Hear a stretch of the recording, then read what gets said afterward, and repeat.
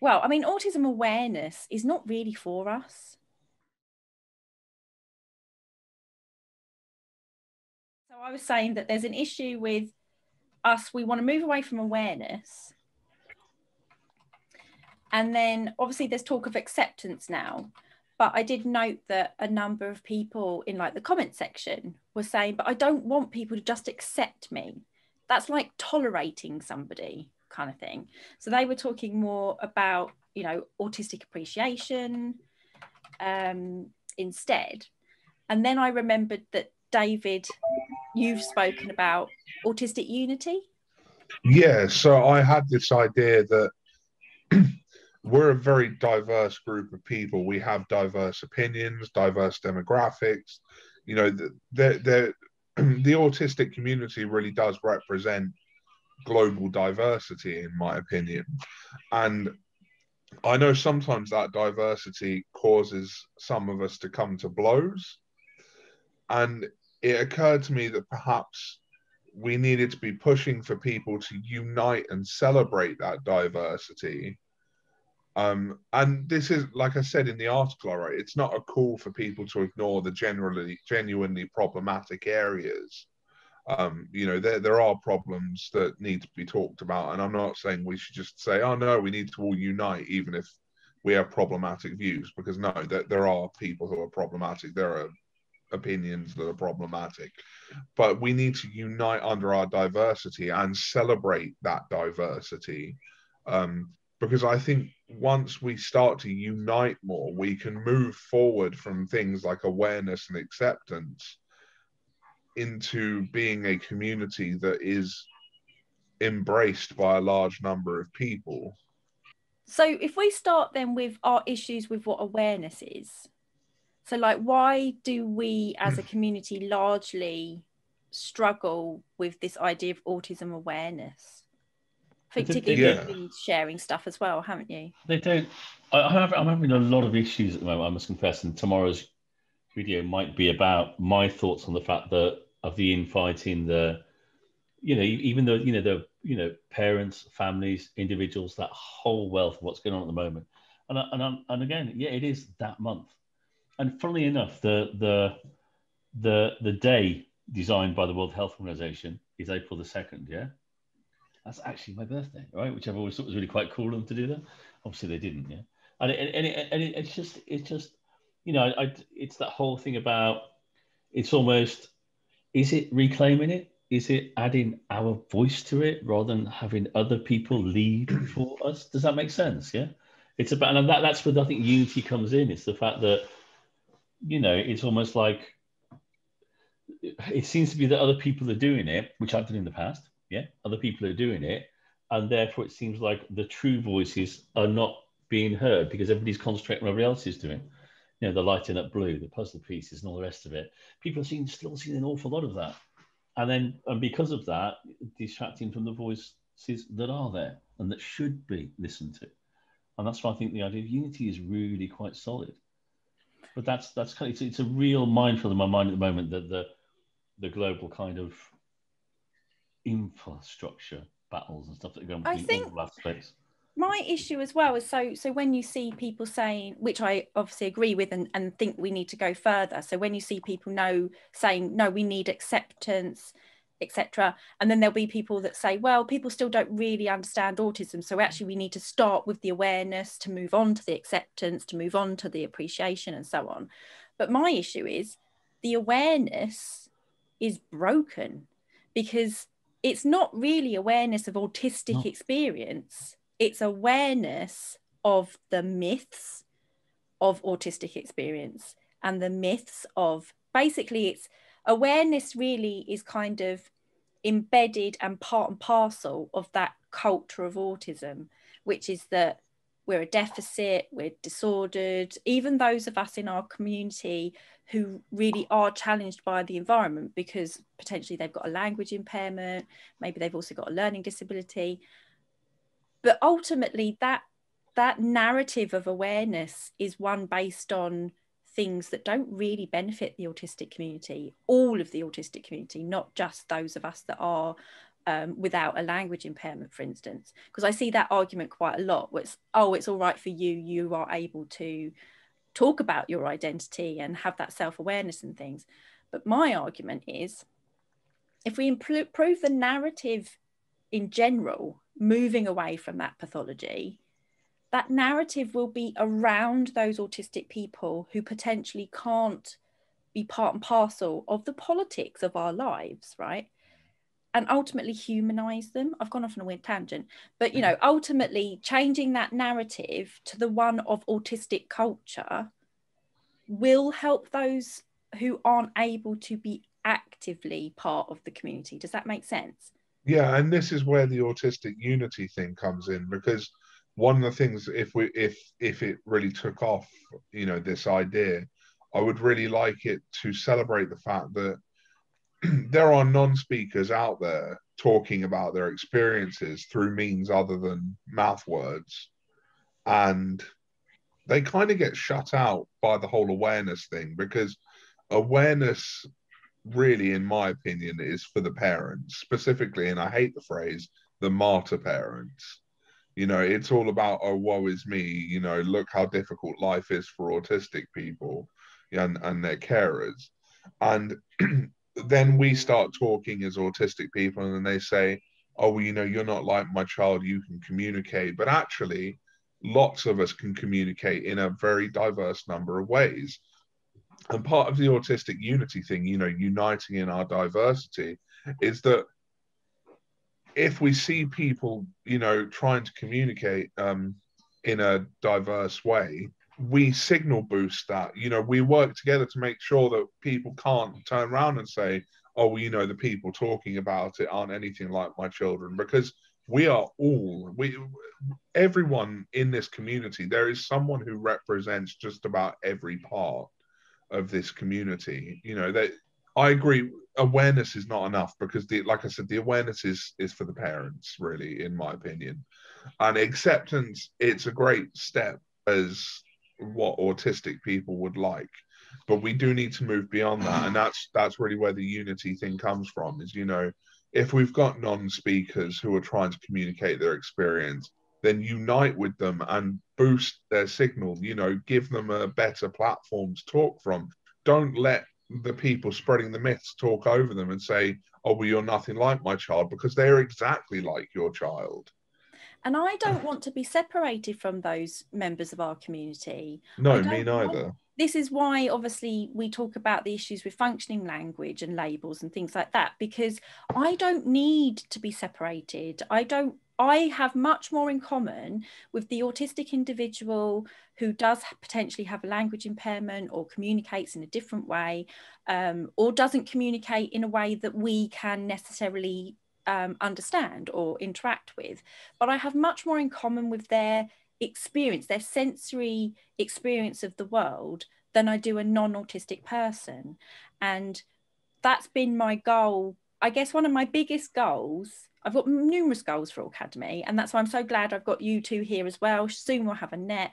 But my biggest goals, I guess, are to be able to enable those different voices and obviously when we say voices we don't necessarily mean mouth words um, to be able to come to Acad- Aucademy and teach so i do want actively i'm looking to be able to support um, people who don't use mouth words I very much want the other intersectionalities in our community. You know, I'm very aware that we're very white. You know, we need much more. Uh, we need black people on here. We need people of color on here. We, you know, and this is my ultimate goal is to keep doing that and pushing to find those um, individuals. But I'm also aware that it's difficult. It's not for want of trying of me trying to find those individuals. The difficulty is those individuals might not necessarily feel safe to be openly autistic on a public platform like ours. And that is where we need to move forward with more than acceptance, because that's just tolerating. I don't want to be tolerated, actually. Somebody said that in a comment, and it was really, it's important. We need more than acceptance. We need more than tolerating those weird autistic people you know um so yeah i like this idea of unity and i want yeah so we can anybody who's listening you know if if you are somebody who doesn't use mouth words if you are an autistic person of color or you know whatever background um we, we i really want to hear from those people you know. So perhaps really the idea of autistic unity goes further than autistic people uniting in their diversity and actually autistic unity looks like the world uniting in its diversity. And so autistic people neurotypical people we're all alongside each other in in our existence. And it's not about one group tolerating the other it's about being equals in this world. That, that's what we're asking for that's what we're asking for ourselves. So that's what we have to do i think within our own area is is is work with, listen to, learn from people like you said that use other methods of what's the what's the fancy term? There's the alternative and augmentative communication, isn't there? For people yeah. that use things like the the key signing or uh, you know iPads Pro Pro thing. I can never say properly. My apologies for pronunciation again. There's all those different areas out there, and I think that acceptance is. You know, if, if, if we're evolving into a true community, then that's what our acceptance is about. Everybody there and that's what it is. That's what it should be. That's what it will be. And I want to hear from those people. Their perspectives must be different to mine. And I am just, we are, I think, fair enough to say for the three of us, really interested in different perspectives.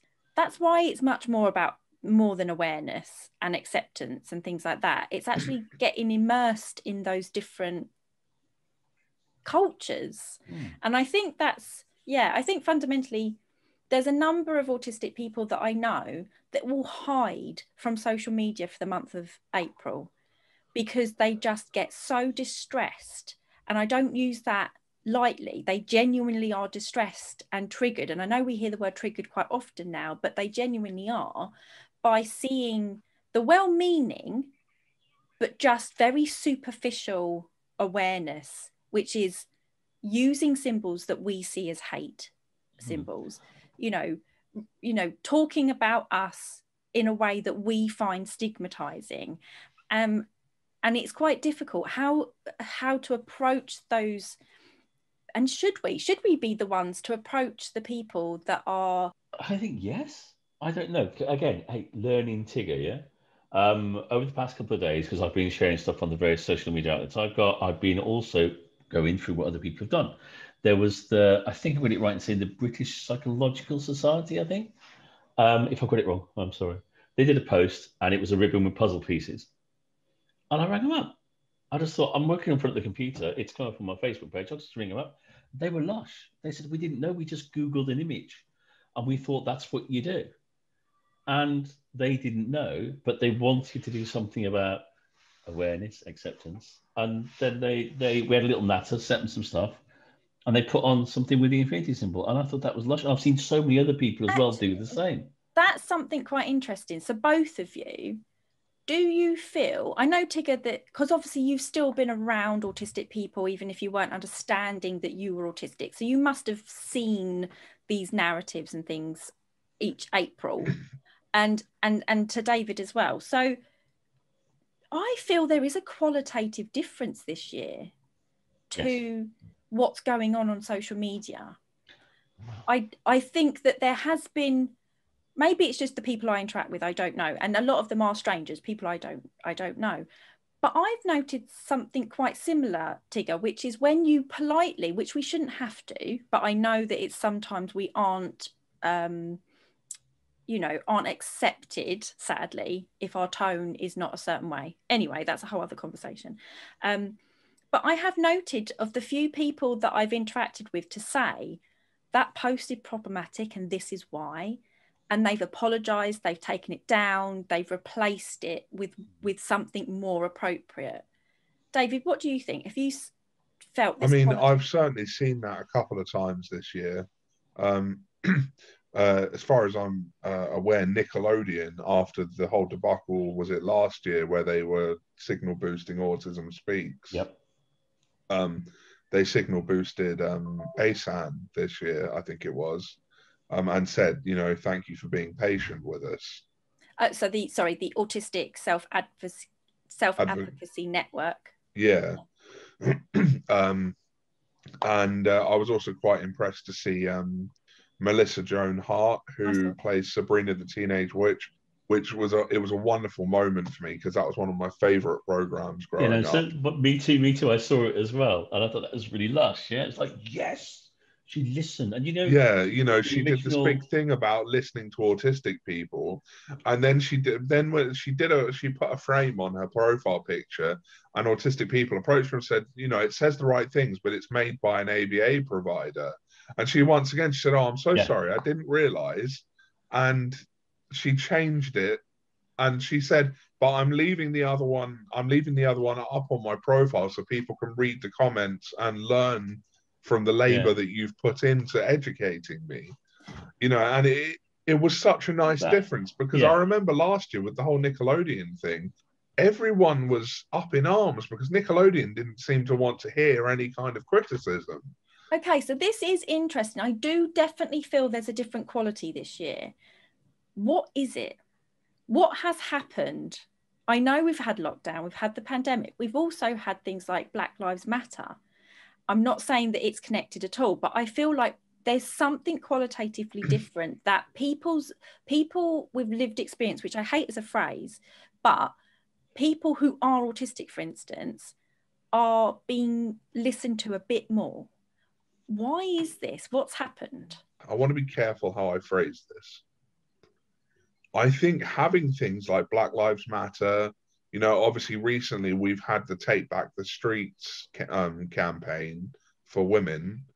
I think people, especially because they've been spending a lot more time on social media reading what campaigners are saying, possibly, they they've recognized that actually when you're talking about a particular demographic, you need to listen to the actual members of that demographic.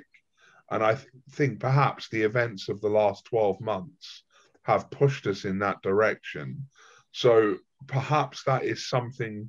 And I obviously I, I I've not done any research into this. I couldn't quantitatively prove it or qualitatively prove it as such.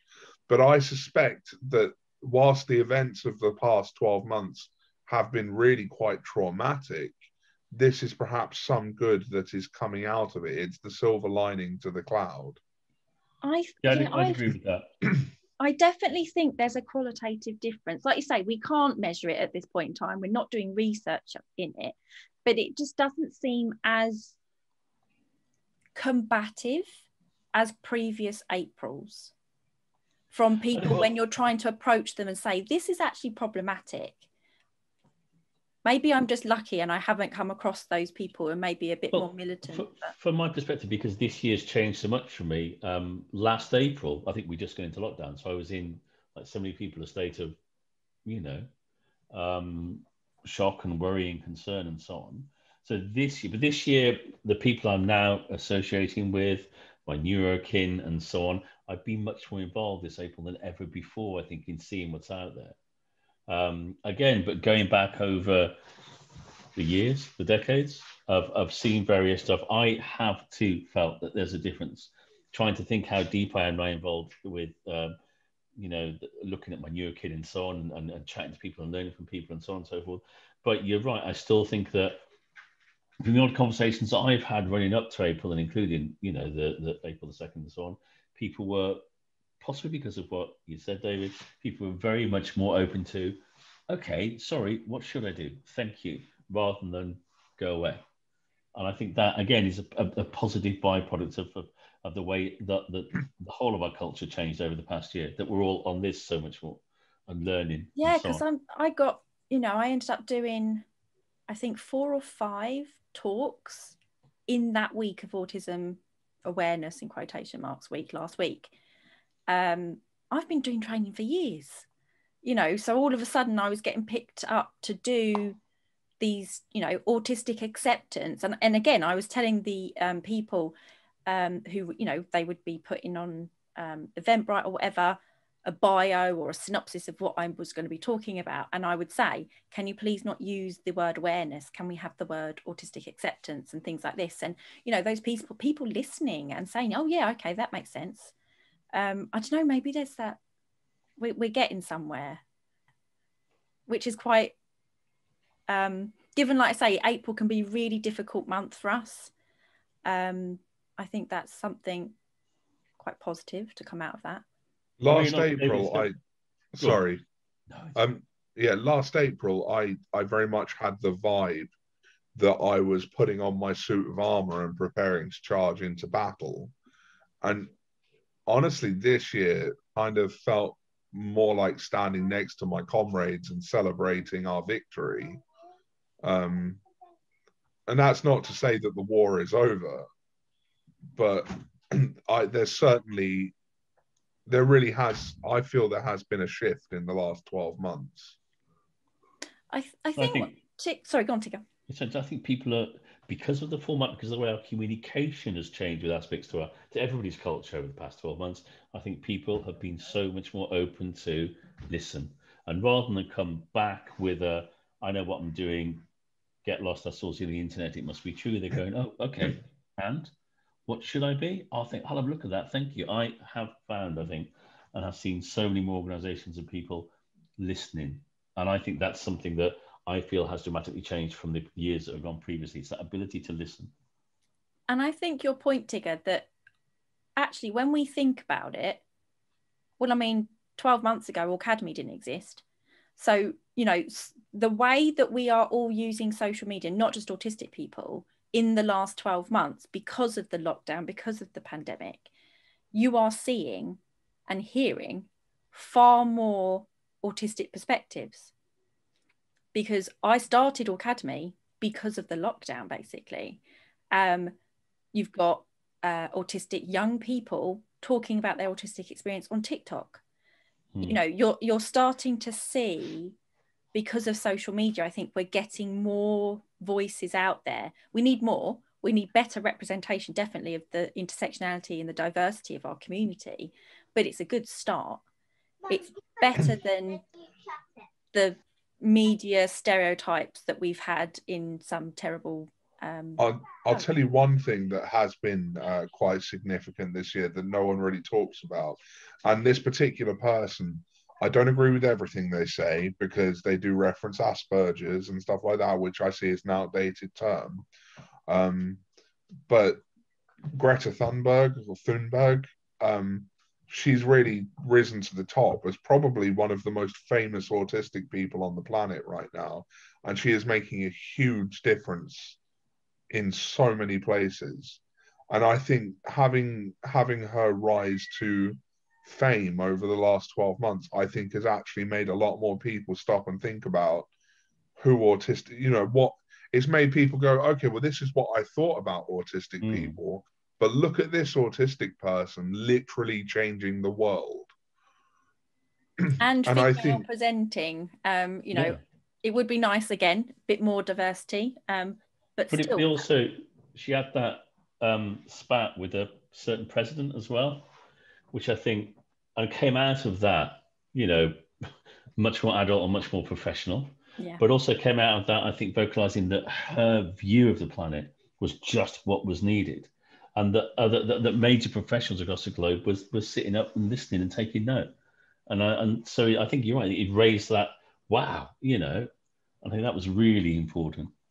I'm hoping what is starting very in small little pockets is that yeah we're moving away from that awareness idea because it really is a particular narrative it's not the autistic narrative that people are aware of when people think of awareness. It's it's very much that culture of autism, um, and I think what's interesting is so this morning on LinkedIn, which I really struggle with LinkedIn, I just don't see the point of it half the time.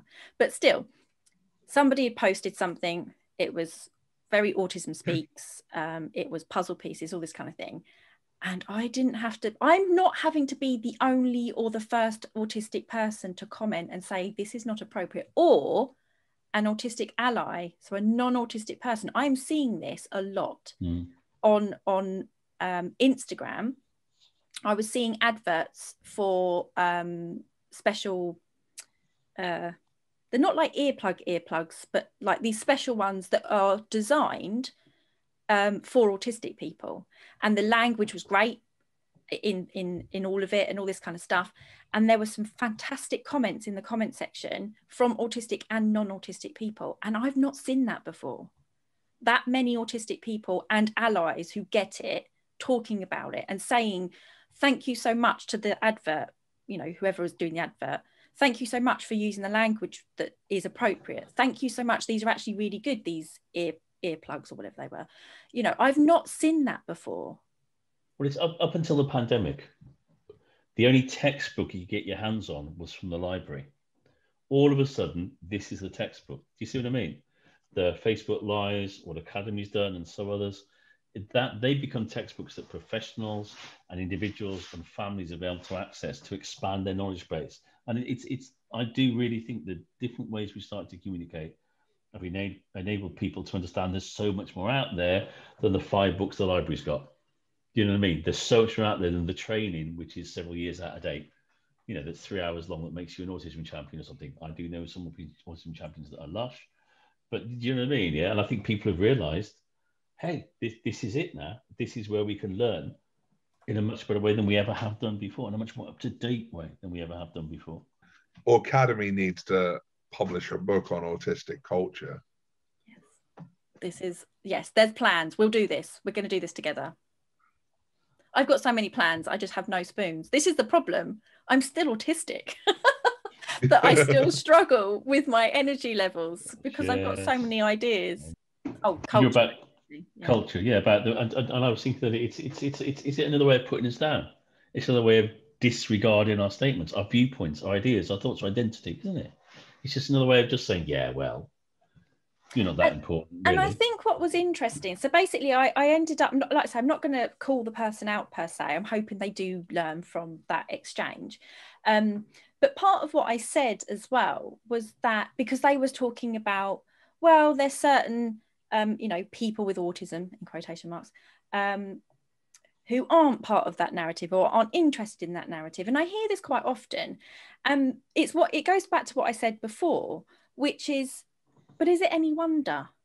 The stigma that surrounds our experiences of the world is so great that why would you you you you can do one of two things. And i talk about this quite a bit when i'm writing. You can do one of two things. You can distance yourself from those other people with autism because you belong to that stigmatized group. You can distance yourself. And that's a way to psychologically um, uh, protect yourself or you do the opposite, which is known as the social cure in the non autistic understanding of cure, which is you connect even more strongly with that group because then there's that unity.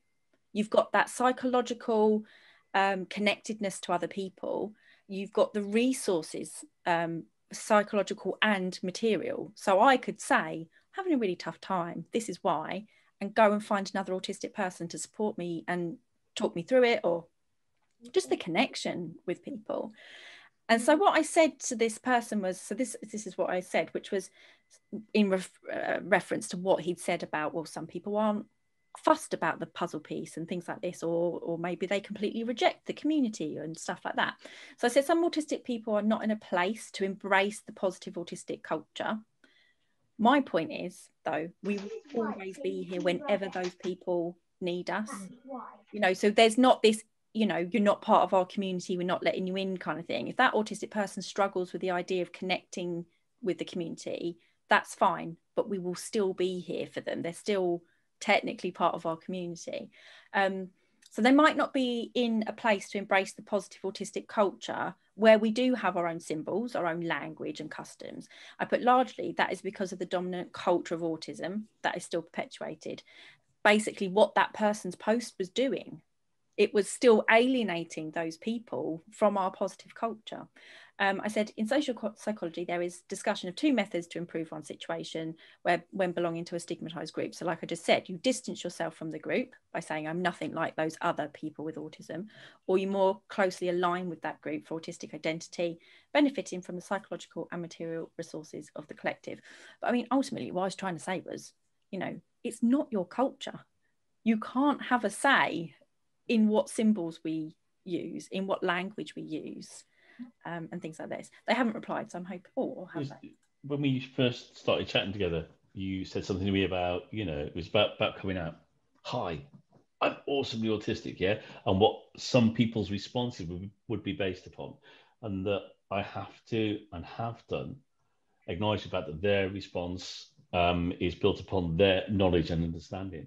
I mean, that goes the same for so many families I know, individuals I know who are awesomely autistic as well, because if you're just fed you know what it means to be autistic in a particular way that's the only knowledge you know. And what i think again this pandemic has given us with all this live zoom teams et al is an ability for people to realize there is so much more. So i think that's benefited the change in in identity and understanding as well because people only ever thought or only ever told there was the puzzle piece now they know there is, there's so much more yeah and i think that's been really important as well that meant a lot to me when you said that because when I've had interested responses, I've gone, well, that person's response is based upon what they know and what they understand. And they're on a journey almost just as much as I am. I think actually to um to take the unity idea further with especially along the culture lines, um, we need to be encouraging people to partake in and explore autistic culture the same way they would explore Chinese culture or you know uh, Indian culture you know, like the way people experience world cultures, we should be encouraging neurotypical people to step into our world and say, hey, uh, and I know you do this a bit when you do your talks, Chloe. You you get people to try experiment with stimming, and and see, you know, we we need people to explore our culture as it is, which is a a real cultural phenomenon. You know, we need people to recognize that it is a legitimate culture, and that you know, it's okay if they want to explore and partake in that culture alongside us. Because if anything, it's just going to help them understand mm. the world from our view a little bit better. Now, there, there is something to be said about getting into the risks of people appropriating culture. But I think in the case of autistic culture, it would be very difficult to appropriate our culture without actually benefiting us. Um, you know, because I know I've seen a lot of people, I saw a lot of debate about, oh, you know, all these non-autistic people buying weighted blankets you know it's appropriating our culture and i one of my main arguments to that was yeah but actually when the demand for weighted blankets goes up the cost of them comes down and they were traditionally a very expensive mm. you know item it's a bit where you, you, you tweak the environment yeah where you get rid of the flashy lights the banging cupboard doors and all the rest of it you know you often get a lot of individuals saying actually you know it's actually much better in it I said, you know, like shopping, it's really loud in here, but now you, you know, you've reduced the the overload. Actually, I like it, and I didn't. I had issues with, with overload. So often when I when when I've seen, you know, um, the redesign of environments, for example, take place, I've seen everybody almost go, "Hey, this is a lot better." No, I get it. God, yeah, I didn't realize these tellies were so loud, but they were, weren't they? That kind of stuff, yeah. And that is and almost I, understanding our culture. I think there is a need to make sure that there is that balance between, you like say, not it becoming appropriation of a culture because that is really problematic and not really acceptable. I think what's interesting is it's quite difficult to appropriate our experiences because fundamentally we process the world differently. So yeah. there's we're always going to have that element that non-autistic people cannot experience but like you say there is definitely hopefully ways we can get them to try and cognitively understand that and empathize with that and then that means that we're more likely to be understood accepted embraced um, and all this kind of stuff so i think yeah like you say that is important. So the, the amount of times that i do it's a nets um, um, tool. She's very creative which is getting non-autistic people to do mindful stimming. They do not experience that in any way near or close to the way an autistic person does but it definitely gives them an insight to go right i get it i get why it's important even though they're never going to have the same qualitative experience as an autistic person doing that activity. So yeah i think i, I like yeah what you said david which is getting people to understand it then. So maybe a better term than aut- autism acceptance month should be autism celebration month. You know oh, celebrate right. so that was my last point because i've got the, the notes for us which was awareness acceptance appreciation unity and then I've put pride I think we need to get to a place where we are allowed to be proud to be autistic, no matter how difficult that might be for some of us. Um, to be proud of literally just who we are, not in relation to a non autistic world. I think it's important though to see the distinction between other people celebrating us and and us having pride, because obviously autistic pride day has existed for some time now, and that's I think is it June 18th yeah. or something. Is, yeah, yeah.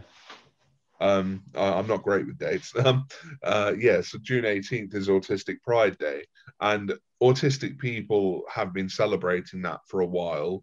Um, but I, I really think, and I don't know, maybe it's pompous of me, but I, I genuinely think that it would be nice for neurotypical people to actually celebrate what autistic people bring to them for a bit because we we've done a lot for the world. And you know all we've really been rewarded with it for is a bunch of stereotypes. So we'll keep pride for ourselves as a as a thing to bring us together as autistic people. And so really what you want to move away from then is or create instead is autistic acceptance uh, celebration month just celebrating us. Yeah and can that and be in a really autistic friendly way? Obviously i don't want like party poppers in my face. Yeah but especially because i think celebrating autistic people is about as far away from the tragedy narrative that you can get. Like you know because I think that's where people have the problem with awareness. So much of it follows that tragedy narrative. Oh, look how hard life is. You know, they're never going to do this. They're never going to do that. Oh, what a shame. They're going to need carers their entire life. You know, and, and that's the narrative that is sold through awareness. If we change that from, you know, we move from awareness into acceptance, and from acceptance, we move towards celebration we're then finally in a place where people are actually saying, hey, look, it's not all a tragedy. Yes, there are struggles, but look at all these good things. I and I still hope and think that the thing that's going to push us to that place, autistic and non-autistic people alike, is like I say, moving away from pathology and thinking of us as a group of people, a population of people who do, do experience the world differently as a culture, as a minority, and still, yes, as a disabled minority. I think moving away, I think that will be the thing that will push us into more about celebrating us and and appreciating us as we are as opposed to still focusing on this idea that we have autism spectrum disorder I think that's hopefully going to be the biggest thing, the biggest change that I think is coming. Yeah. Mostly because I keep pushing for it and writing about it. Any final thoughts on Autism Awareness Month? Yeah, looking forward to when it's not called that. yeah, absolutely. And I look forward to hopefully seeing this shift in attitude continue year on year to when we get to a place where we can actually call it Autism Celebration Month. Have you celebrated your autistic person in your life? That is one of my favorites, actually. Um, uh, it's like that meme. Um, I think it is autism acceptance. Have you accepted an autistic person into your life? If you haven't done so by the end of like April, then you won't be on the what is it? The the gay commune spaceship or something. Have you seen this? It's amazing. I'll get and Jessica. Can you cut this little bit out until I actually find the post, so I don't just sound like a waffling, meandering, autistic person. Whilst we're on bits that are going to be cut out, uh, very good at her editing skills as well. Um, and so, like I say, my favorite, um, or one of my favorite, there's loads of memes that I love. I've just got a, a folder on my phone that's just full of memes um, that I actually think I should just have a folder on Aucademy for autistic memes because they're really useful for people to just be like, okay, have some education mm. in a really easy format. Um, okay, so a reminder that Autism Acceptance, Acceptance Month starts tomorrow. If you are not accepted by an autistic person by April the 30th, you will be left behind when we depart on the rockets to our neurodivergent, fully automated luxury gay space commune. That's love it. fantastic. It is. It's one of my favourites. And that is the point. Maybe we should look at it that way. It's Autistic Acceptance Month. Have you, as a non autistic person, been accepted by an autistic person? We could reframe it that way. We could. I like that. All about reframing. Yeah. Exactly. Oh, this is lovely. So, um, thank you. This has been Aucademy. I have been Chloe Farahar with my co-presenters David Gray Hammond and Tigger Pritchard. Yay! And Oogle.